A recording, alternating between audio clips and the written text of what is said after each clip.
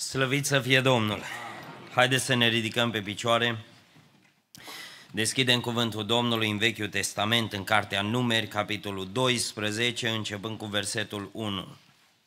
Și așa cum a cântat corul mare, să fie o seară în care să învățăm să nu ne lăsăm de Domnul. Dacă l-ai pierdut pe Domnul, l-ai pierdut dintr-o singură cauză, că ai dat-o drumul la mână. Că El nu ne dă drumul la mână și când întoarce în spatele, el tot e lângă noi. Mi-aduc aminte că acum ai seara devenilor, eu am fost cu Costi, cu fratele Costi în biserică și cu Manu, le zic copiilor lui ceva, nu știu dacă ei știu, o, tai, tata vostru a fost cel mai bun trompetist din Deva. Am cântat cu el în orchestră când eram copii și am slujit eh, toți trei împreună. Când eram mic, m-a dus fratele meu, unul din frații mei, la defilări. Eram copil, știți, defilările și eu cum mă uitam printre picioarele oamenilor să văd și eu acolo în față, dintr-o dată m-am trezit că nu mai e frate meu lângă mine. Și am început să plâng și plângeam, plângeam, plângeam și știu că, nu știu cât aveam, vreo 8 ani, ă, s-a uitat un domn cu un chipiu pe cap la mine și a zis, băiatule, de ce plângi? Și eu, între suspine, am zis, m-am pierdut de fratele meu. Și îmi dă frate meu una după cap și îmi spune, sunt aici, mă. Știți ce am realizat? El era acolo, dar eu m-am întors cu spatele la el. De câte ori n-am plâns noi și am zis, Doamne, nu te mai simt. Dar ia întoarce-te spre Domnul și să vezi că El e acolo. Și am zis, așa facem și noi. Doamne, unde ești? Nu te mai simt. Păi ai schimbat poziția și tu o să tot plângi și o să tot suspini până întorci poziția, să te întorci din nou spre, spre Domnul. Să fie seara aceasta o seară întoarcerii la Dumnezeu cu toată inima. Binecuvântat să fie Domnul. Haideți să deschidem cuvântul Domnului, numeri capitolul 12, începând cu versetul 1. Maron și Aron, Maria și Aron au vorbit împotriva lui Moise din pricina femeii etiopiene pe care o luase el de nevastă, căci luase o femeie etiopiană. Și au zis, oare numai prin Moise vorbește Domnul? O, nu vorbește oare și prin noi? Și Domnul a auzit-o. Moise însă era un om foarte blând, mai blând decât orice om de pe fața pământului. Deodată Domnul a zis lui Moise, lui Aron și Mariei, duceți-vă câte ștrei la cortul întâlnirii. Și s-au dus câte ștrei. Domnul s-a coborât în stâlpul de nor și a stat la ușa cortului. A chemat pe Aron și pe Maria și ei s-au apropiat amândoi și a zis, ascultați bine ce vă spun. Când va fi printre voi un proroc, eu, Domnul, mă voi descoperi lui într-o vedenie sau îi voi vorbi într-un vis. Nu tot așa este însă cu robul meu Moise. El este credincios în toată casa mea eu îi vorbesc gură către gură, mă descoper lui nu prin lucruri greu de înțeles, ci el vede chipul Domnului. Cum de nu v-ați temut deci să vorbiți împotriva robului meu, împotriva lui Moise? Domnul s-a aprins de mânie împotriva lor și a plecat. Norul s-a depărtat de pe cort și iată că Maria era plină de lepră, albă ca zăpada. Aron s-a întors spre Maria și iată că ea avea lepră. Atunci Aron a zis lui Moise, Ah, Domnul meu, nu ne face să purtăm pedeapsa păcatului pe care l-am făcut ca niște nechipzuiți și de care ne-am făcut vinovați. Să nu fie Maria ca un copil născut mort, a cărui carne este pe jumătate putredă când iese din pântecele mamei lui. Moise a strigat către Domnul zicând, Dumnezeule, te rog, vindeco. Și Domnul a zis lui Moise, dacă ar fi scuipat-o tatăl ei în obraz, n-ar fi fost ea oare de o cară timp de șapte zile? Să fie închisă de șapte zile afară din tabără, după aceea să fie primită în tabără. Maria a fost închisă șapte zile afară din tabără și poporul n-a pornit până n-a intrat din nou Maria în tabără. După aceea, poporul a plecat din Hațerot și a tăbărât în pustia Paran. Amin. Haideți să ocupăm locurile. Doresc în seara aceasta Domnul să ne binecuvinteze pe toți. Iată că încă o dată vedem că Domnul la Gătaia face lucruri noi prin mâinile oamenilor. V-ați mutat în casă nouă, Domnul să vă binecuvinteze. Cel mai greu nu-i să restaurezi o clădire, ci cel mai greu e să restaurezi un suflet. cel mai greu, cea mai mare muncă de lămurire și cea mai mare oboseală și cheltuială îi să-l aduci pe un om de pe drumul lui, pe drumul lui Dumnezeu. Cel mai greu îi să-l convingi pe un om de starea în care se află, că trebuie schimbare și să intre într-o stare plăcută după voia lui Dumnezeu. Dar lucrul acesta nu-l face Dani Popa și nu-l face nici fratele Costi, ci lucrul acesta de a schimba și restaura sufletul omului îl face Dumnezeu. Și în seara asta aș dori lucrul acesta să se întâmple la biserica din Gătaia. Domnul să schimbe stările noastre. Dacă am pornit prin pustia aceasta, îmi doresc să nu rămânem să murim în pustie, ci să ajungem cu bine la destinație. Binecuvântat să fie numele Domnului ne apropiem de unul dintre cele mai triste pasaje a Vechiului Testament. Unul dintre cele mai triste pasaje a Vechiului Testament. Ne uităm în seara aceasta la o familie binecuvântată, la trei frați de corp, care au fost aleși de Dumnezeu și Dumnezeu o privit spre toți trei din copilărie. Și acum le spun ceva copiilor, că după aia lasă-și continue ei discuțiile. Vă spun ceva copii. Când Dumnezeu se folosește de cineva, din copilărie își pune ochii pe el. Din copilărie își pune ochii pe el Dumnezeu. Și Dumnezeu așa folosește. Și vezi că din copilărie are ceva special, are ceva pus deoparte. Și din copilărie poți vedea că diavolul pe urmele lui caută ori să-i ia viața, ori să îl tragă de pe calea lui Dumnezeu. De ce? Că Dumnezeu are un plan. Cu toți trei Dumnezeu a avut un plan binecuvântat din copilărie. Cu familia aceasta, o familie deosebită. Domnul îi folosește pe toți trei cu putere. În seara asta nu vreau să pun titlul la început, ci vreau să-l lăsăm la final. O să predic fără titlu de început. Și o să punem împreună titlul la final. Ne uităm în seara asta la acești trei oameni, trei frați de corp. La Maria, la Aron și la Moise. Și ar vrea la final știu că nu o să fie o întrebare la care aștept răspuns, o să fie retorică. Nu aștept răspuns, dar o să vedeți liniștea, că vreau să întreb la final, tu și eu, cu cine dintre ăștia trei ne asemănăm? Și vreau să începem în seara aceasta, pentru că suntem gentlemen, să începem cu doamnele. Și în seara asta, primul lucru, ne vom uita la Maria pentru că e femeie și o să vedem câteva lucruri în viața ei. Maria este o femeie care se naște într-o perioadă când femeile nu aveau multe drepturi. Nu aveau multe drepturi. În perioada aceea nu era ca acum. Îmi zice o doamnă ieri la un magazin, am mers să cumpăr o țeavă și zice către mine, da, domne, zice, nu știi că eu am mai fost odată la magazinul ăla cu nevastă mea și nevastă mea atâtea întrebări i-au pus la femeia asta că l-a lăsat-o și-o zis, când am mers singur, zice, da, zice, nevasta dumetale, de ce se pricepe mai bine ca dumetale când am fost singur? Zic, Doamne, ia-i cu ăstea, un măsurător, ia dacă mi-au zis, du-te, iau o țavă de un metru, de un metru iau, nu pun întrebări, dar de ce nu trebuie de un metru? Pe mine să mă lase să pot predica, ea să facă tot cum le întoarce, nu am nicio problemă, că ea desfundă și chiuveta, ea se ocupă și de lucrurile alea. Și am zis, zice, domne, ai văzut ce bine a fost, ce bună e emanciparea femeii? Ai văzut, zice doamna asta către mine, zice, ai văzut ce bine o prins în lumea asta, când femeia o știu să-și ceară drepturile, să fie egală cu bărbatul. Zic, doamnă, nu știu dacă a fost așa de bine.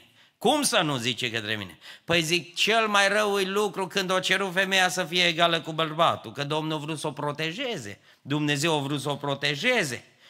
De aia i-a pus mai greu în cârcă lui Adam. Dar femeia au vrut să fie la egal și atunci bărbatul, românul, nu pocăitul, românul a zis, dacă eu iau un sac de 50 în spate și tu iei, că suntem egali, nu? Că asta înseamnă egalitate. Eu pot duce doi saci și tu poți duce, dacă ai vrut egalitate, nu? Maria s-a născut într-o perioadă în care femeia nu era egală cu bărbatul femeia avea puține drepturi. Știți că evreii au o rugăciune bărbații și se roagă, zice că în fiecare zi s-ar ruga evreu și ar spune, spune Domnului în rugăciune, Doamne, îți mulțumesc că nu sunt femeie. Așa spune evreii, îți mulțumesc că nu sunt femeie. Femeia aceasta, tânăra aceasta se naște într-o perioadă în care n-aveau multe drepturi femeile. Dumnezeu o alege și investește în ea calități deosebite. Ia Dumnezeu o tânără, o copilă, și investește în ea calități deosebite. Încă din copilărie. E o lideră înnăscută. Știți, acum, în viața de familie, domne, chiar dacă bărbatul e șeful, dar lider în casă nu întotdeauna e bărbatul. Știi? Adică la biserică, da, și asta spun și la nunț. Domne, chiar dacă dumneatale soră e șefa și le duci bine, le aranjezi bine, le așezi toate lucrurile perfect, lasă-l în fața oamenilor el să fie șeful. Că așa e bine, lasă-l pe el să poarte pălăria. Nu purta tu, tu poartă baticul.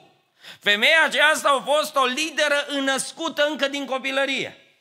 Le spun tinerilor la noi la biserică, mă, nu lua ca tine, tu ia diferit. Dacă unul e mai moale, dacă el, și soră, dacă vezi că băiatul e mai molătic așa, lasă să-și ia una așa hotărâtă. Că nu-i bine, nu-i bine nici când sunt amândoi lideri. Că atunci când sunt doi lideri, îi Ucraina cu Rusia, da? că lideri și Volodimir și cu Vladimir, nu? Amândoi sunt lideri și căpoși și toată ziua ești la comitet. Împacă-i, despacă-i, ștergele lacrimile, nu? Asta e, asta e cel mai bun cuplu. Unul mai moale și unul mai tare. Dacă sunt amândoi tari, e problemă. Dacă sunt amândoi moi, iar e problemă, că dau un șans amândoi. Nu știu să-și drămuiască banii, nu știu să... Pentru că așa o crea Dumnezeu. Mai zic copiii noștri către noi, fata mare zice, da, între voi doi care e moale și care e tare. Zic, mă, de 18 ani tot încercăm să vedem care îi, că nu, încă nu ne-am dat seama, dar ei își dau seama. Copiii oricum știu cine e șeful în casă sau șef, așa e copii, dar să nu spuneți niciodată. Țineți pentru voi. Nu? Maria a fost, așa o lăsat-o Dumnezeu. Nu că a vrut ea să fie șefa. O lăsat-o Dumnezeu cu niște calități de lider născută. Nu i-a fost frică să stea în fața oamenilor. O găsit Dumnezeu, i-a dat înțelepciune să găsească soluții acolo unde adulții nu găseau soluții. Da? Când fratele ei, Moise, îi pus în sicriaș pe malul Nilului, între trestii, spune cuvântul Domnului că ea a fost trimisă să supravegheze sicriașul. Când Moise ajunge în brațele fetei lui Faraon, zice că tânăra asta nu s-o temut să zică nu mă duc, e fratele păstor, nu mă duc, mi rușine, nu mă trimite. Nu, asta direct în fața fiicei lui Faraon s-a dus și a zis, auzi, eu am o soluție pentru tine. Tu n-ai lapte, tu n-ai de unde să-i dai laptele de care îți fac eu rost. Vrei să-ți aduc o doică. Putea fata lui Faraon să zică, auzi, de ce te bași tu în seamă? Dacă era român, așa spunea. Ce vii tu cu soluții, domne? Lasă-mă că știu eu. Că așa e românul, nu știe nimic. Dar el se dă că știe. Și uitați-vă că o tânără, o copilă, reușește să o înduplece pe fata lui Faraon. Merge acasă și îi spune la mamă sau mamă, ți-am găsit de lucru. Nu mai ești cum scriu copiii. Ce lucră mama? Mama nu lucră nimic, tata lucră. Să știți copii, mama lucră mai mult ca tata. Zice, nu lucră nimic mama, spală, mătură, calcă, ne îmbracă, ne dezbracă, ne face de mâncare, ne duce la școală, ne aduce, ne se chinuie cu noi, e polițistul în casă, taci că doarme tată tu, nu? Dar mama nu lucră nimic, numai tata lucră 8 ore, nu? Că așa spunem noi, mama nu lucră nimic. Nu e adevărat. Mama e casnică, dar de lucrat lucră mai mult decât, decât tata. Că mai îmi zice soția, auzi, te tău plângi, că eu mă mai plâng câteodată. Zice, auzi, hai că te las și eu trei zile să stai, uite, când pleci tu la Bucovina, patru zile, lasă-mă și pe mine două zile să mă duc și eu undeva să, să, să plec de acasă, să mă odihnesc. Și îmi zici după aia, unii mai greu acasă sau în deplasare.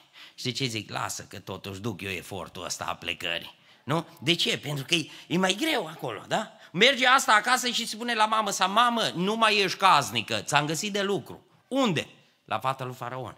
Ți-am găsit să mergi să alăptezi pe cineva. Pe cine? Pe frate meu. Uitați-vă câtă înțelepciune investește Dumnezeu în fata asta. Din copilărie investește Dumnezeu înțelepciune. Nu se dă în lături de la nimic. E o femeie puternică. Are calități deosebite. Știe să completeze acolo unde se văd lipsuri. Știți ce spune Biblia? Că Moise, după ce a trecut poporul Marea, cu Marea, prin Marea Roșie, zice cuvântul Domnului că Moise a compus o cântare. Acum, imaginați-vi-l pe Moise cum cânta cântarea, că zice Biblia Exod 15, cântarea lui Moise. Și începe acolo, dacă o să o citiți, aia o, o compus-o Moise și o și cântat-o. No, gândiți-vă, nu știu dacă l-ai fi pus, frate Costi, pe, ți-aș fi zis eu, bă, nu-l mai pune, nu-l pune, te rog eu, lasă-l după predică, să plec eu. Gândiți-vă cum cânta Moise, că era un om greu de ascultat la vorbire. Greu de ascultat. De ce? Era gângav, era bâlbâit, era, scotea greu cuvintele. Și nu a zis soră sa, bă, nu mai cânta la biserică, ne faci de râs. Toată familia îi stă cu capul în jos când tu cânți. Nu mai cânta, mă, că tu n-ai voce.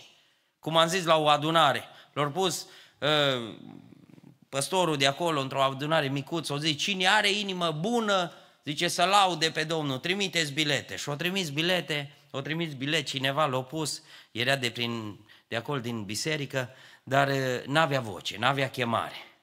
Și i-am zis, frate, când mai anunț așa, spune așa, cine are inimă bună, să cânte acasă, să cânte și în biserică, dar la microfon să cânte numai ăla care are chemare.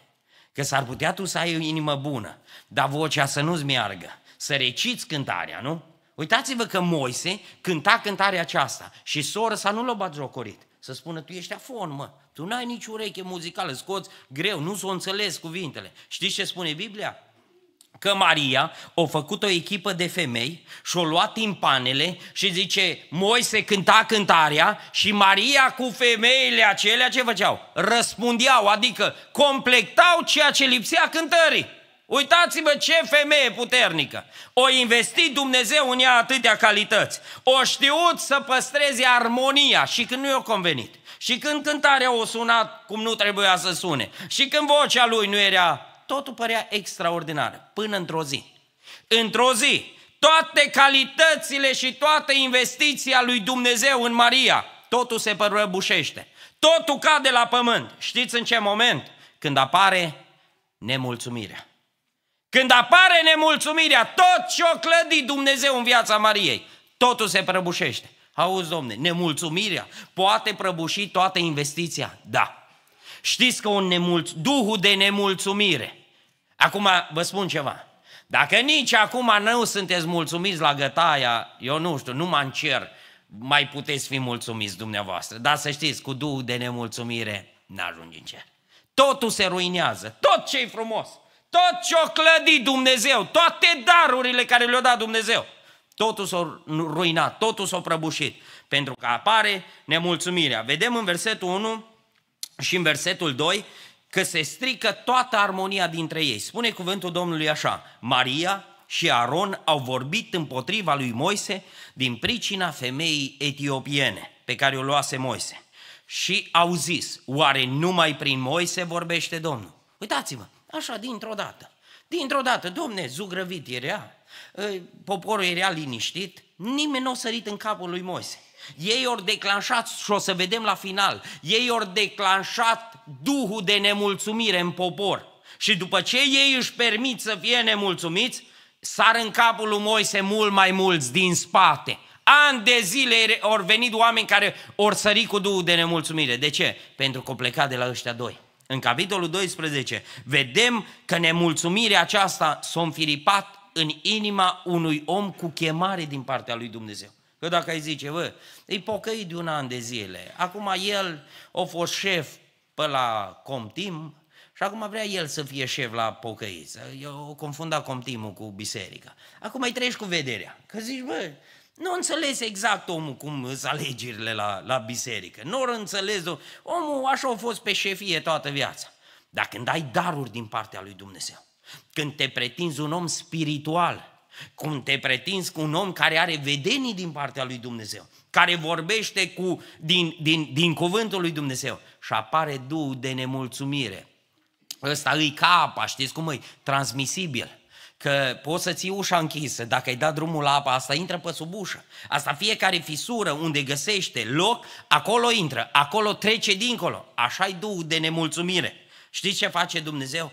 Dumnezeu i-a dat daruri ca să vadă Maria că Dumnezeu nu a ocolit-o, ci a investit în ea. Ea face parte din cei trei eliberatori care i-au avut Israelul. Când a fost eliberat poporul Israel, spune Mica în capitolul 6 ă, cu versetul 4, spune că ă, printre cei trei eliberatori au fost ă, Moise, au fost Aron și au fost Maria. Auziți, căci te-am scos din țara Egiptului, te-am izbăvit din casa robiei și am trimis înaintea ta pe Moise, pe Aron și pe Maria. Dumnezeu investește în femeia aceasta. Dar uitați-vă, lasă în inima ei nemulțumire. Nu vi se pare cunoscut tiparul ăsta? Că l-am mai citit undeva în Biblie? Știți unde s-a înfiripat prima dată Duhul de nemulțumire? Știți unde? În cer. Nemulțumirea, nu e așa ceva, las că îl liniștesc cumva. Lasă că, citeam în cartea lui Iona, dacă o să citiți, în, în capitolul 3, în capitolul 4, o să vedeți acolo în cartea lui Iona, o să vedeți că zice Dumnezeu i-a făcut un, un umbrar lui Iona. De ce? Ca să-l facă să-i treacă supărarea. Auzi, Dumnezeu se pleacă la nivelul lui Iona și spune, hai, nu mai fi supărat, uite, îți fac un umbrar, îți mai dau ceva, o să-ți fie bine, o să-ți fie răcoare. Uite, Dumnezeu mai suplimentează binecuvântare, dar știți cum suntem noi? Știi cum a fost Maria? Nu i-a mai convenit, Domne, nu i-a mai convenit. O băga fel și fel de motive. Prima dată o zis că nevasta lui Moise e problema. Dar uitați-vă, în toată Biblia nu o să vezi că nevasta lui Moise scoate un cuvânt pe gură. Că dacă ai zice, bă, o ațățat-o, și le spun tinerilor la anunț, vedeți care aveți multe cumnate, vedeți că mai multe probleme ai cu cumnata decât cu soacra. Că așa zice că Maria era în conflict cu, cu cumnată sa. Că de multe ori cumnata o ațâță pe soacră împotriva ta. Și spune, mamă, vezi ce o slăbi fratele meu. Vezi cum îi parcă i lăsat de un număr, de lucră în continuu, e așa, parcă nu mai e statura aia. Și o ațâță pe soacră ta împotriva ta. Uitați-vă că așa spune. Zice, a vorbit din pricina femeii etiopiene. Acum nu se știe. O mai fi luat alta, dar cei mai mulți acceptă lucrul ăsta că nu, era vorba de Sephora. Nu știm sigur, luați-o așa facultativ, opțional. Dar ă, femeia asta nu spune nimic, o trimite Moise la tată, să merge, o aduce ă, tată, să vine, nu, nimic nu zice. Dar Duhul de nemulțumire, nu e la din față, Întotdeauna când vine un om nemulțumit, să știi că nu primul motiv care îl scoate pe gură. Nu aia e realitatea. Frate, eu sunt nemulțumit că nu merge biserica bine. Ascultă, dar nu e la motiv. Că auziți ce spune? Zice, și-au zis, după ce au zis, motivul nostru de nemulțumire e femeia asta. Și zice, și-au zis, oare numai prin Moise vorbește Domnul, oare nu și prin noi? Păi mă, dar nu, nu, nu înțeleg. Ai zis un motiv și acum arăți altceva. Ai zis că pe tine te interesează bunul mers a familiei. Suntem o familie, cântăm ce minunat e să fii dintr-o familie. Dar acum văd că tu te bați pe funcții. Zice, numai prin ei? Nu cumva vorbește Dumnezeu și prin noi? Și uitați-vă cum schimbă motivul. Că mulți zic, frate, la noi nu merge bine. Am fost la o adunare, nu știu dacă v-am mai zis, dar vă spun acum. La final m-a așteptat o soră, așa în jur de 70 de ani, Ă, micuță, slăbuță, ă, neagră, din cap până în picioare, supărată. Zice către mine, frate, zice, la noi merge rău. Dar biserica bună, așa ca la dumneavoastră, răspundea, nu era plictisită, nu dormea nimeni. Și uh, zic, soră, dar eu m-am bucurat, n-am fost de multă vreme la ei acolo și zice, nu, la noi merge rău. Zic, dar de ce? Ce s-a întâmplat? Zice, de când nu mai e ginerele meu în comitet, zice, de atunci foarte rău mere biserica. Ați înțeles? Ea plângea starea bisericii, dar de fapt motivul nu era ăla care îl spunea, l-a spus primul în față. Era altul în spate, că, dar să știți, eu cred că mai bine o mers biserica de când nu mai fost gineris un comitet, nu? Dar asta e, așa venim noi cu motivele. Noi vrem biserica să meargă bine. Vă spun ceva, dacă vrei biserica să meargă bine, roagă-te Domnului. Cel ce ține biserica în picioare, cel ce ține lucrarea, nu, lucrarea nu-i pe umărul meu, nu-i pe umărul lui, ci pe umărul Domnului. Pentru că Domnul o, o plătit pentru biserică. Biserica merge și fără tine, merge și fără mine. Domnul ține biserica lui. Biserica fără el nu merge. Pentru că Domnul a spus că porțile locuinței morților nu vor birui.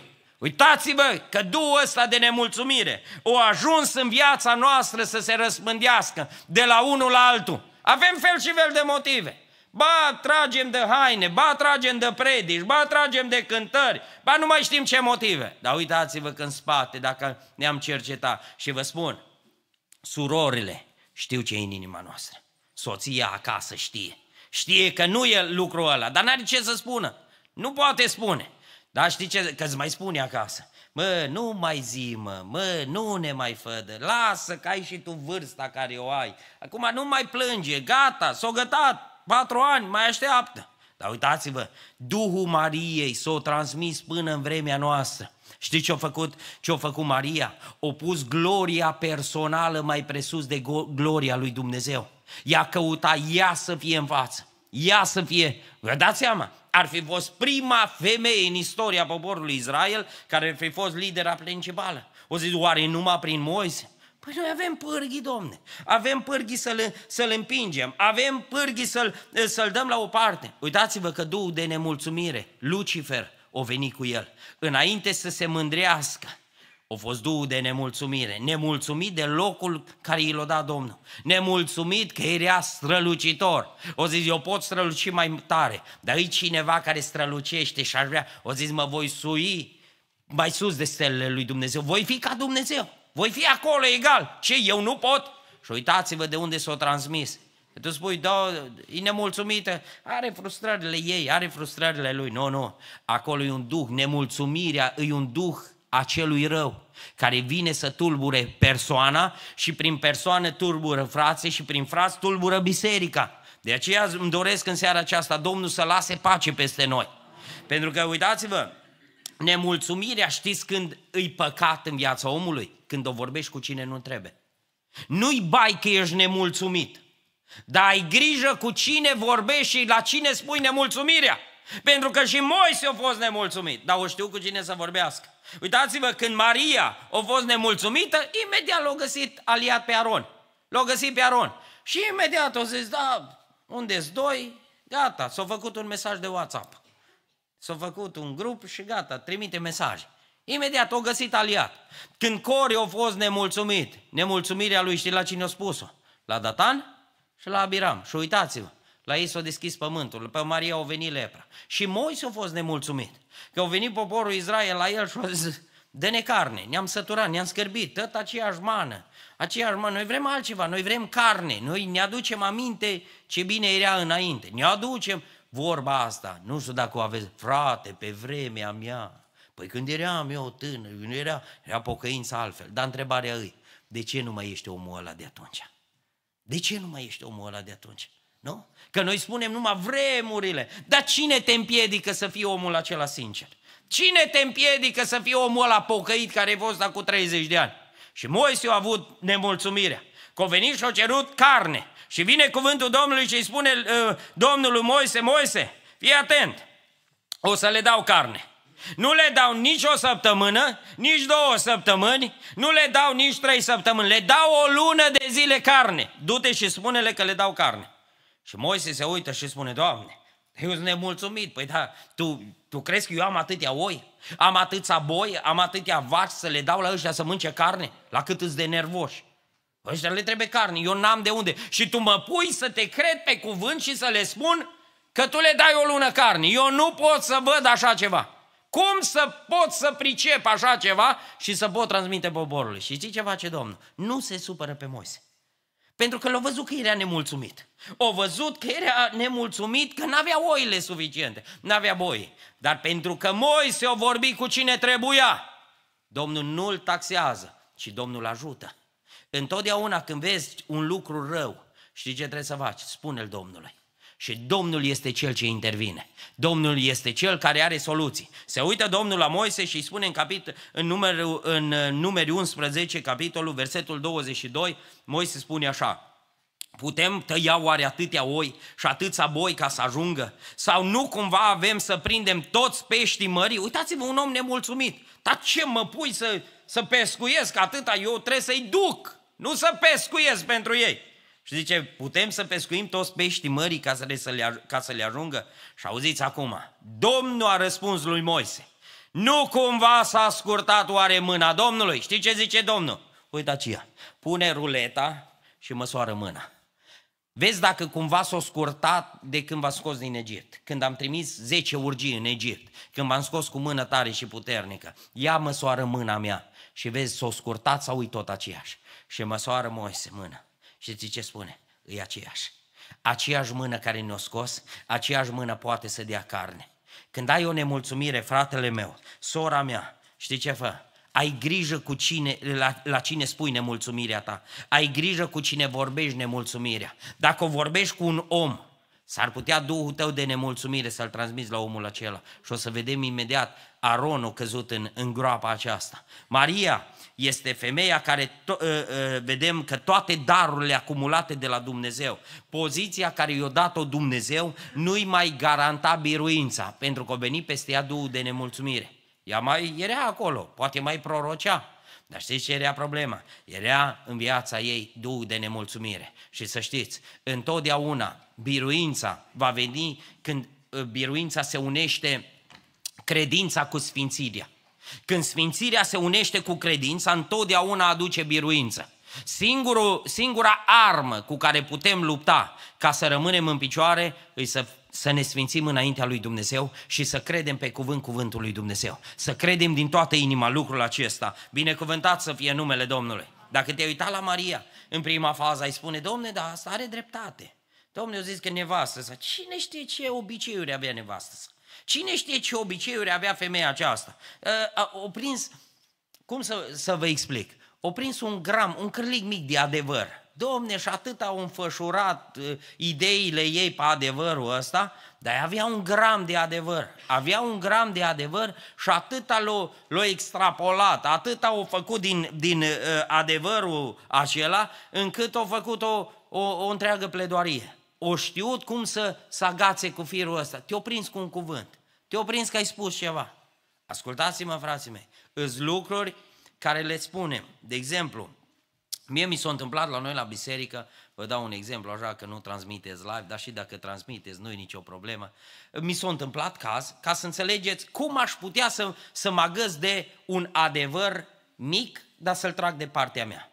Mi s-a întâmplat la noi în Elim să-mi zică fratele Moț, vezi că predici duminică seara. Și mă duc în birou, pregătit, predică, călăuzită din partea lui Dumnezeu, tot, aveam mesajul pe inimă, intru în birou, dintr-o dată un musafir acolo în birou, la predică. Să uită fratele Moz la mine, zice Dani, în seara asta ă, nu mă o să faci o rugăciune că nu mai predici. Că avem un musafir și nu, îl punem pe el și... Eu? Dacă eram după adevărul Mariei, da? Puteam să spun, frate, pe ce v-aș mai mințit? Nu? Dacă, m pus la, dacă nu m-au pus, mi-au promis că eu, eu predic, eu m-am pregătit, am transpirat, am, am, m-am rugat. Păi cine îmi plătește mie timpul ăla de rugăciune? Timpul ăla de stat înainte. Și tu vii și mă desumfli așa înaintea de predică și îmi spui, vezi că nu mai cânt, nu mai predici, nu mai te rog, nu mai faci nimic. Că a venit altul. Eu pot lua cârligul ăsta de adevăr și să, să-l împânzesc în toată biserica. Uite, fratele, păstor nu se ține de cuvânt. Îi un om și să nu spun ce. Să nu spun. Frate, lasă că am eu experiențele mele. Am eu experiență, nu mai zic fraților, dar nu e un om de cuvânt. Ce semăn în inima oamenilor? Dacă aș spune cu cârligul meu de adevăr, cu lucrul ăsta care, care, care l-aveam, de adevăr, Domne mi-a schimbat, o zis, Biblia spune și mă pot sprijini pe Biblie, dau vostru să fie, da? Și nu, nu, da? Și noi ne agățăm de lucruri. Cât, de câte ori nu te-ai agățat de lucruri din astea? Mi aduc aminte, vă mai zic ceva și după aia trec mai departe. La o ședință de comitet ne-a spus așa, noi putem hotărâ, gândim, vorbim. Dar dacă mie Dumnezeu îmi descoperă ceva, eu nu pot să rămân agățat de cârligul ăsta când știu că Dumnezeu mi-a vorbit ceva știu că e din partea lui Dumnezeu și Dumnezeu îmi spune ce am de făcut. Și noi, tinerii, așa, doream noi să dăm lecții și au spus așa, să știți ceva, greutatea și responsabilitatea bisericii e pe umărul meu. Pe mine mă doare cel mai tare. Pe mine mă doare cel mai tare biserica să meargă înainte. Nu pe Maria, nu pe Aron îi durea cel mai tare, cum să ajungă poporul. Pe ăștia îi durea cel mai tare cum să prindă scaun. Cum, dar e bine că a spus banca aici. Dacă vrei, nu poți prinde scaun la, la gătaia, ci poți prinde numai bancă. Dacă îți trebuie, am fost într-o adunare, n-aveau bancă la, la Amvon, au zis că să nu ne certăm pe scaune, pe bănci, nu au pus nimic, numai Amvon. Uitați-vă, Maria a fost omul care a pus gloria personală mai sus de gloria lui Dumnezeu.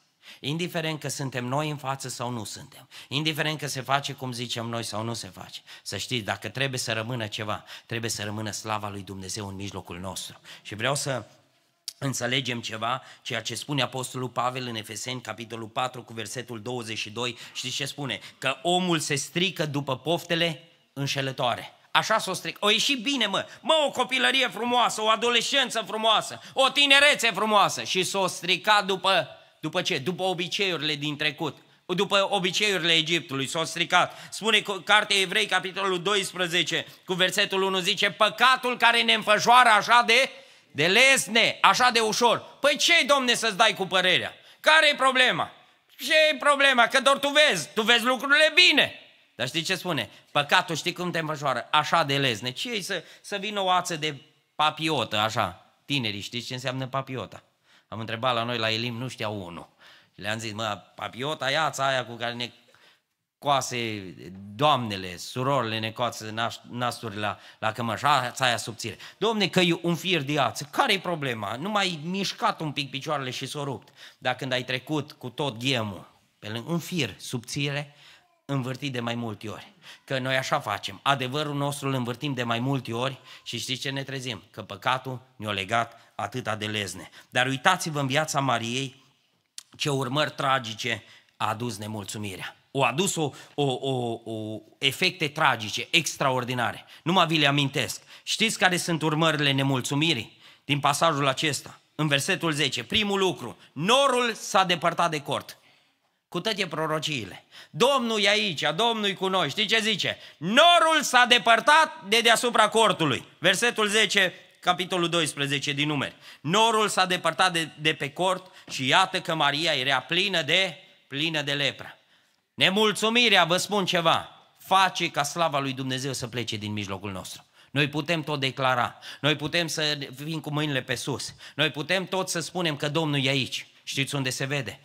Acolo unde e Duhul lui Dumnezeu sau e Duhul de nemulțumire. Acolo putem vedea dacă e Domnul cu noi sau nu-i cu noi. Îmi doresc în seara aceasta să înțelegem că nemulțumirea are efecte tragice în viața spirituală, ă, spirituală a oamenilor. Păcatul personal îndepărtează bucuria tuturor. Norul era bucurie pentru tot poporul. Dar uitați-vă, nemulțumirea ei o făcut să fie lipsit de bucurie tot poporul. Norul a plecat și tot poporul a fost afectat. Al doilea lucru, Domnul rămâne la ușa cortului. Locul Domnului era în cort, acolo îi vorbea Domnul lui Moise. În cort, spune versetul 5 așa, Domnul s-a coborât în stâlpul de nor și a stat la ușa cortului. Domnul nu trebuia să stea la ușă, ci Domnul trebuia să stea în cort. Când intrau în cort, acolo era prezent Domnul. Dar uitați-vă ce schimbări majore. Zice că Domnul a stat la ușa cortului. Locul lui era la, la chivot. Domnul nu mai intră, ci lasă, vreți să intrați, intrați voi. Să ne ferească Dumnezeu să intrăm în casa lui Dumnezeu și Dumnezeu să lipsească dintre noi. Trebuia să ziceți toți amin.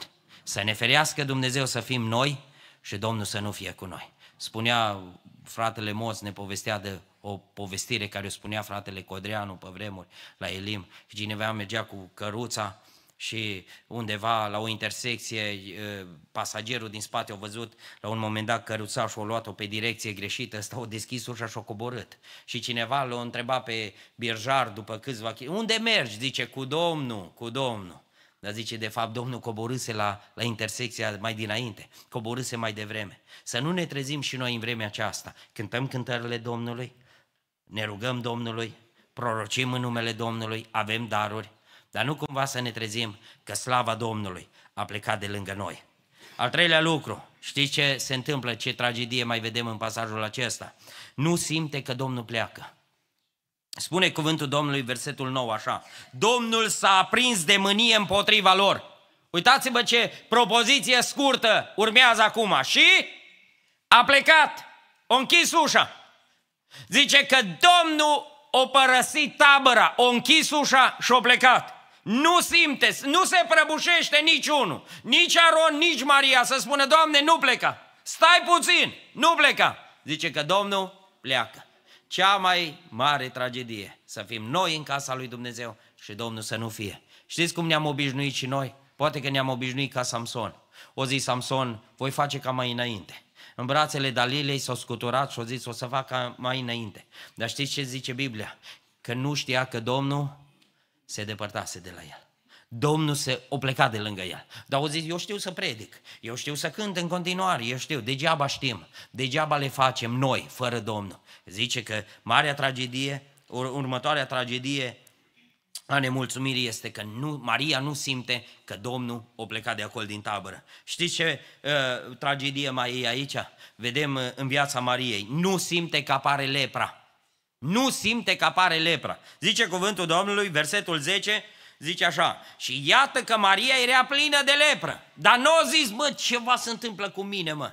Mă rog și nu mai simt nimic. Când biserica nu mai e cu mine. Eu singur, biserica e singură. Nu mai e legătura aia. O, o, o apărut ceva bube albe pe mine. Nimic.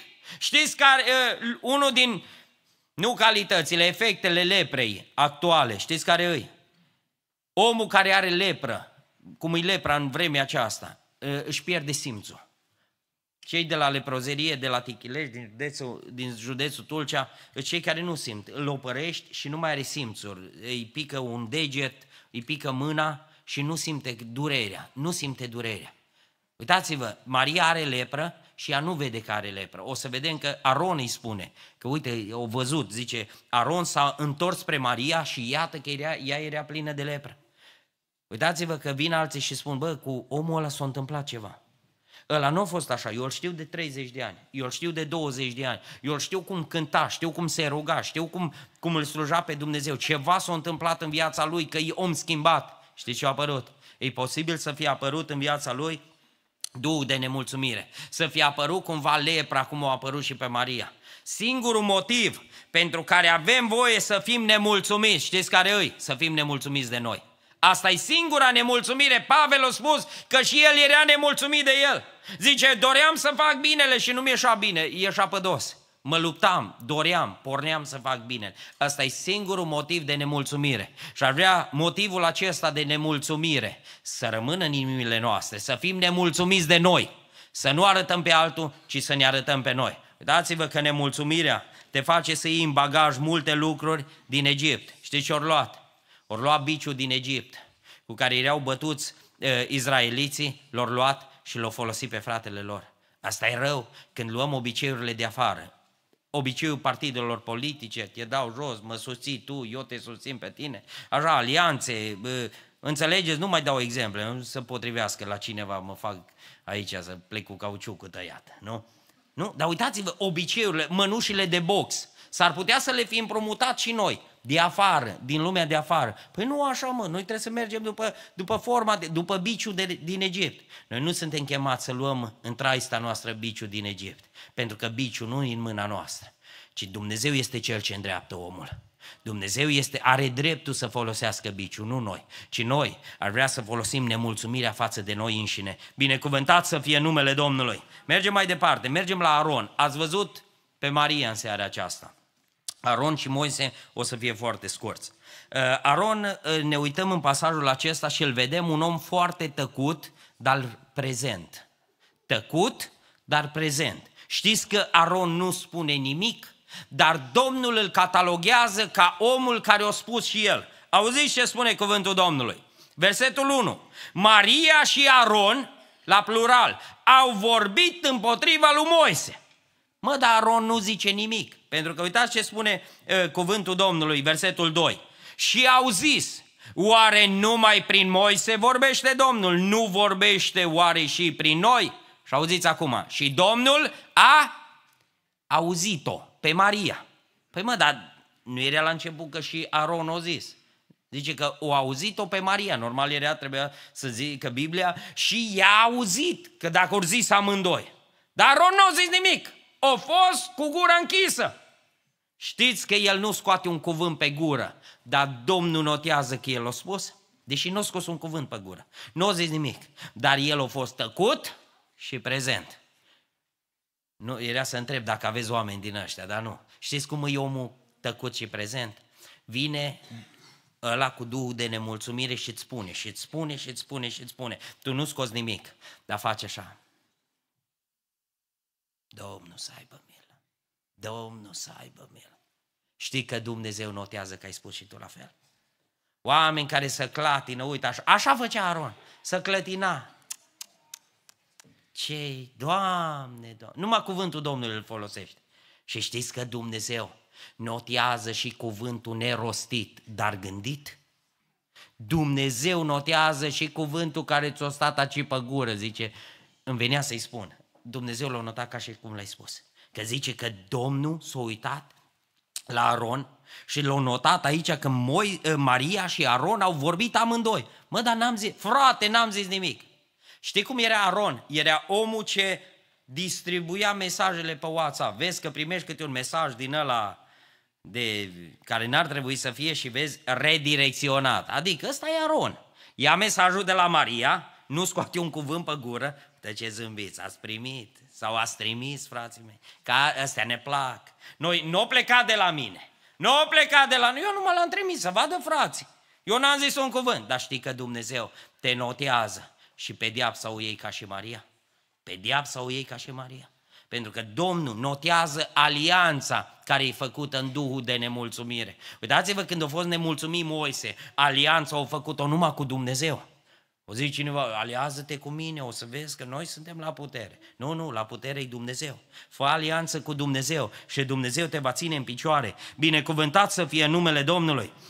Aron a fost omul care avea cuvântul între dinți, nu zicea nimic, că destul zicea soră sa. Zice, bine mă, mă, bine o zis ăsta la sfatul frățesc. Numai el a vorbit. Ai văzut ce a urlat, o zis bine, o zis bine. Dar uite-te din ce duh spune. Uită-te ce duh îl mână în spate. Uită-te ce rămâne în urma lui. Uită-te ce rămâne. Zice că Maria o găsit aliat pe Aron, pentru că și Lucifer în cer, când a fost nemulțumit, o găsit un sfert din îngerii cerului. I-o găsit aliați. Întotdeauna nemulțumirea va găsi aliați.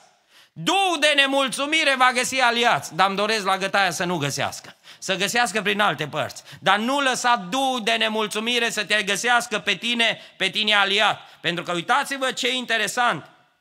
Apostolul Pavel reglementează lucrul acesta, dar poți să spui, bine, dar Aron nu știu lucrul ăsta. Spune cuvântul Domnului în Efeseni 5, uh, capitolul 5, cu versetul 10 și 11. Apostolul Pavel trage un semnal de alarmă și Aron trebuia să facă uh, ceea ce spune cuvântul lui Dumnezeu. Cercetați ce este plăcut înaintea Domnului și nu luați deloc parte la lucrările neroditoare ale întunericului, ba încă mai degrabă ce zice Biblia? O sândițile. Știți ce trebuia să facă Aron? Ce trebuie să facem și noi? Soră, frate, pe mine nu mă băga în gunoi. Pe mine nu mă băga în mizerie. Că eu am copiii de crescut.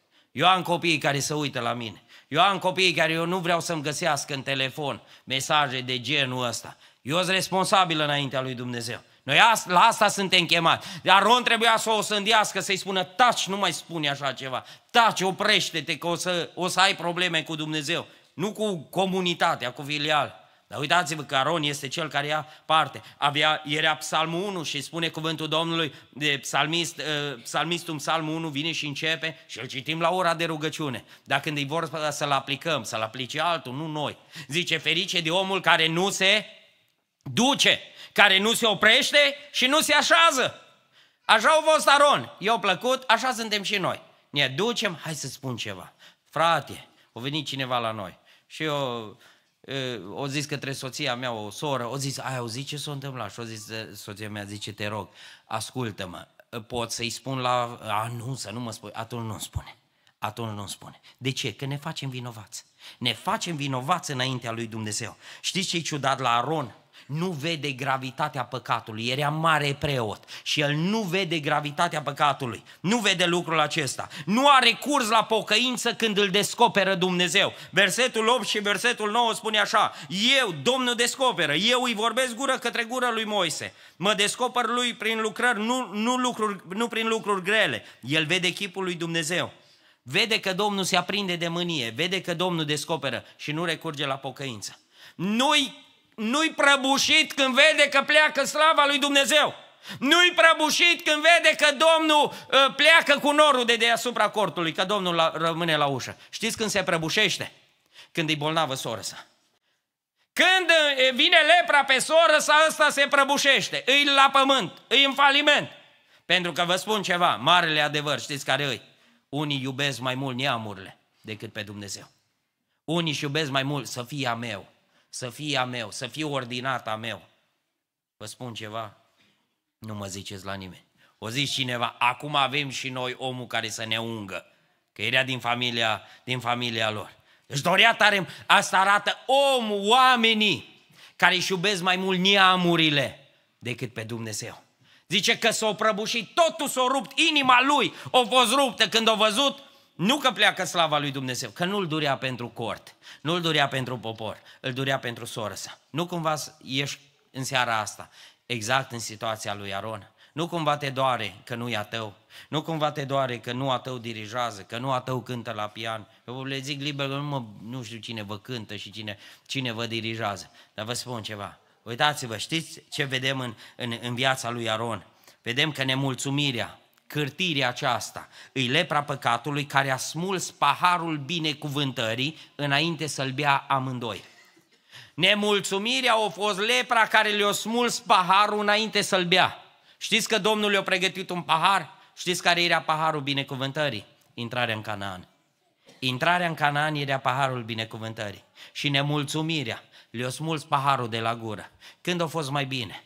Oameni cu daruri, oameni cu chemare. O zis Dumnezeu, paharul ăsta de binecuvântare nu-l mai beți. De ce? Din cauza nemulțumirii. Dacă ă, spuneam ceva la început, ă, Aron și cu Maria deschid ușa răzvrătirii. Dacă o să citiți uh, capitolele care urmează și viața lui Moise în pustie, o să vedeți că foarte mult s-au răzvrătit. Știți de ce? Pentru că doi lideri, doi oameni cu chemare, doi oameni cu funcție, cu, cu uh, uh, în jurul lor, cu multă influență, își permit să ridice glasul și să ridice mâna împotriva lui Moise. Și uitați-vă după ei, Vin alții, vin cei, vine Core, vine Datan, vine Abiram și ridică glasul, se răzvrătesc împotriva, împotriva lui Moise. Vă spun ceva, frații mei, uitați-vă aceia la ei. Uitați-vă la Cor, că tineri, și uitați-vă la toți ăștia micuți.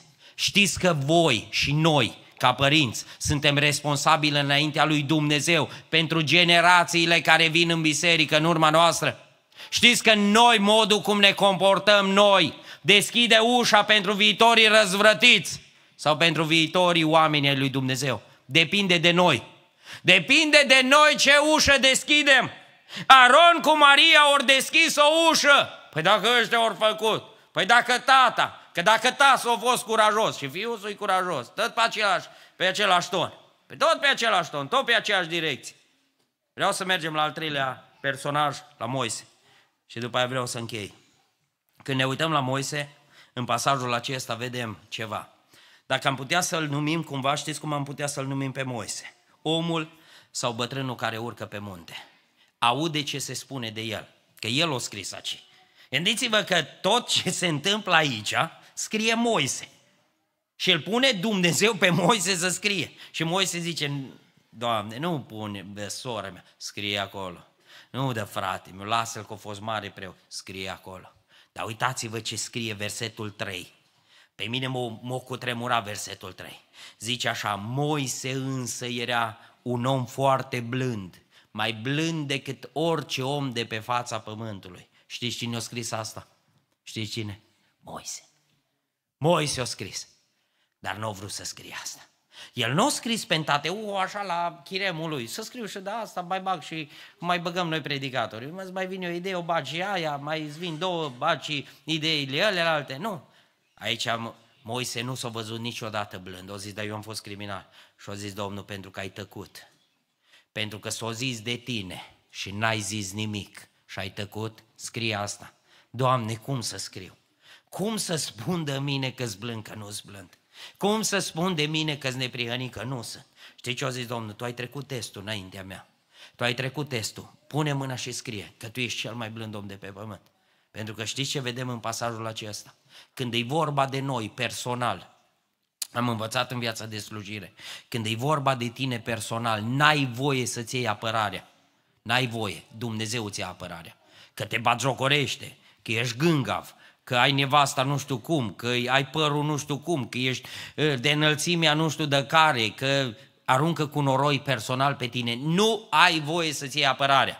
Dar când e vorba de lucrarea lui Dumnezeu, nu de funcție, să înțelegeți. Când e vorba de lucrarea lui Dumnezeu, acolo Moise nu a fost blând. Când s-a coborât de pe munte și Aron le, le, le turna, că și ăsta au zis, domne, așa dintr-o dată, știi, uite și aici, așa, eu n-am zis nimic, poporul, Maria, mi-au dat uh, aurul, eu l-am aruncat în foc și dintr-o dată s-a făcut un chip, s-a făcut vițelul ăsta. Știi ce a făcut Moise? O lua vițelul, l-a ars în foc, l-a făcut cenușă și știi ce a făcut?